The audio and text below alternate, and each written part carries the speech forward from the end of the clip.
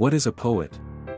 An unhappy person who conceals profound anguish in his heart but whose lips are so formed that as sighs and cries pass over them they sound like beautiful music.